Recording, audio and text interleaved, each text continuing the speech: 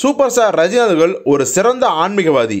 இப்போ இல்லை கிட்டத்தட்ட எயிட்டிஸ்லேயே சொல்லலாம். எவ்வளவோ பிரச்சனையில் மாட்டினதுக்கப்புறம் நாம் ஆன்மீக பக்கம் திரும்புவோம் அப்படின்னு திரும்பினதுக்கப்புறம் அவருக்கு நல்லதாகவே பல விஷயங்கள் வாழ்க்கையில் நடக்க ஆரம்பிச்சுது. ஸோ அதன் விளைவாக ஒரு தீவிர ஆன்மீகவாதியாக மாறிட்டார். இத்தனைக்கும் அவருடைய நூறாவது படத்தையே படம் ஓடுனாலும் பரவாயில்ல இது ஒரு சாமி படமாக இருக்கட்டும்ன்ட்டு ரீ ஸ்ரீ ராகவேந்திரா அப்படிங்கிற படத்தில் நடித்து கொடுத்தாரு. ஸோ இப்படிப்பட்ட ஆன்மீகவாதி ரஜினி அவர்களுக்கு எந்தவித பிரச்சனையும் கிடையாது. மக்களும் அவர் வந்து ஆன்மீகத்தை ஃபாலோ பண்ணுறாரு இமயமலைக்கு போகிறாருன்னு அவரை எல்லாருமே வந்து பாராட்ட தான் செஞ்சாங்க. ஆனால் இந்த பத்து வருட காலமாக குறிப்பாக ரெண்டாயிரத்தி பதினாலு வருஷம் பிஜேபி ஆட்சிக்கு வந்ததுக்கப்புறம் ரஜினியோட செயல்பாடுகள் அவர் வந்து ஆன்மீகவாதியை மட்டும் இருந்தால் பரவாயில்ல அவர் சங்கி வேலையெல்லாம் பண்ணுறாரு அப்படின்னு கடுமையாக குற்றச்சாட்டில் வச்சாங்க. எந்த அளவுக்கு அப்படின்னா ரெண்டாயிரத்தி பதினாலாவது வருஷம் வரைக்கும் ரஜினி வந்து ஒரு ஹீரோ மட்டும் கிடையாது. தமிழ்நாட்டு மக்களை வந்து அவரை வந்து கடவுளாகவே பார்த்தாங்க. சில பேர் தங்கள் வீட்டில் ஒருத்தராகவே பார்த்தாங்க.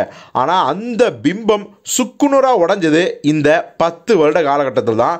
குறிப்பாக உதாரணம் சொன்னால் அந்த தூத்துக்குடி ஸ்டெர்லைட் மேட்ரு. அதுக்கப்புறம் பார்த்தீங்கன்னா பிஜேபி மக்களுக்கு எதிரான எந்த திட்டம் கொண்டு வந்தாலும் மக்கள் இங்கே வந்து போராட்டத்தை ஆரம்பித்தாவோ இல்லை எழுச்சி ஏற எழுச்சி ஏற்பட ஆரம்பித்தவோ உடனே வந்து மக்களோட போராட்டத்தை நீர்த்து போகிற மாதிரி திசை திருப்புற மாதிரியான பல விஷயங்களை வந்து ரஜினி பண்ணுவார். குறிப்பாக சும்மா சும்மானாச்சுக்கு போய் கவர்னர் ஆஃபீஸில் போய் டீ குடிச்சவர் கேட்டால் அரசியல் பேசணும் பாரு கேட்டால் அதை நான் சொல்ல முடியாது பாரு. மொத்தத்தில் கவனத்தை திசை திருப்பணும் மக்களோட போராட்டம் நீர்த்து போகணும் அப்படிங்கிறது வந்து ரஜினிகாந்த் பாஜகவின் கைக்குடியாக செயல்படுறாருன்னு எதிர்க்கட்சிகளும் இன்னும் சொல்லப்போனால் மக்களுமே கூட சோசியல் மீடியாவில் அவரை பயங்கரமாக கழுவி கழுவி ஊற்றுறாங்க இந்த விஷயத்தால் ரஜினி எந்த அளவுக்கு பாதிக்கப்பட்டாரோ இல்லையோ அவர் குடும்பம் பாதிக்கப்பட்டிருக்கு அப்படிங்கிறதுக்கு உதாரணமாக லால் சலாம் படத்தோட ஆடியோச்சில் ஐஸ்வர்யா அவர்கள் ரொம்பவே வந்து மனம் நொந்து மனம் நொந்து ஒரு ஸ்பீச் கொடுத்தாங்க. அதில் என்ன சொல்லியிருக்காங்க அப்படின்னா அதாவது நான் சோசியல் மீடியாவில் ஆக்டிவாக இல்லைங்க. ஆனால் எங்கள் அப்பாவை பற்றி பல கெட்ட விஷயங்களை வந்து சோசியல் மீடியாவில் வந்து வர்றதை வந்து என்னுடைய ஃப்ரெண்ட்ஸ் எனக்கு காட்டுவாங்க. அதை பார்க்கும் ரொம்ப ரொம்ப எனக்கு வந்து மனசு வேதனையாக இருக்கும். இன்னும் சொல்லப்போனால் அவர் வந்து ஒரு குறிப்பிட்ட கட்சி ஆதரவாக இருக்கார். அதனால் வந்து அவரை வந்து சங்கி அப்படின்னு சொல்லுவாங்க. அப்புறம் தான் தெரிஞ்சது சங்கி அப்படின்னா இந்துக்களை மட்டுமே ஆதரிக்கிற மாதிரியான ஒரு போக்குக்கு தான் அப்படி சொல்லுவாங்க அப்படின்னு. ஆனால் ஒரு உண்மையை சொல்லுங்களா இந்த லால் சலாம் படத்தோட அந்த சூப்பர் ரீலை காட்டும் போது நான் அந்த படம் எடுக்கிறதுக்கு முன்னாடி நான் வந்து ஒரு டீசர் மாதிரி ஒரு கட் பண்ணி வச்சுருந்தேன். அந்த டீசரை பார்த்த உடனே இந்த இஸ்லாமிய கேரக்டர் நான் பண்ணலாமா அப்படின்னாரு. யோசிச்சு பாருங்க. ஒரு சங்கியாக இருந்துட்டா அவர் இந்த கதையை சூஸ் பண்ண முடியுமா? ஒரு இஸ்லாமியில் நடிப்பாரா?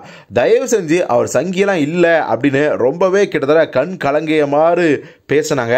ஸோ இதை பார்த்த ரஜினி ரசிகர்லாம் உண்மையாலுமே நெகிழ்ந்து போயிட்டாங்க. அதே சமயத்தில் மறுபடியும் சோசியல் மீடியாவில் ஏமா படம் ஓடுனுங்கிறதுக்காக இப்படி தான் பேசாதம்மா.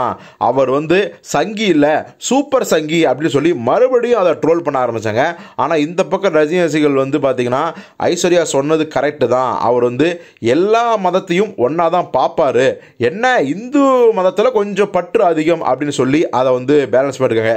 எது எப்படியோ அந்த சங்கி ரஜினிகாந்த் பிஜேபி ஆதரவான விஷயம் அவர் குடும்பத்தை எந்த அளவுக்கு பாதிச்சிருக்கு அது படத்தோட வியாபாரத்தையும் எந்த அளவுக்கு பாதிக்க போகுது அப்படிங்கிறத பார்க்கும்போதே உண்மையாலுமே கஷ்டமாக தான் இருக்குது ஸோ இதை பற்றி நீங்கள் என்ன நினைக்கிறீங்க அப்படிங்கிறத கமெண்ட்டில் சொல்லுங்கள்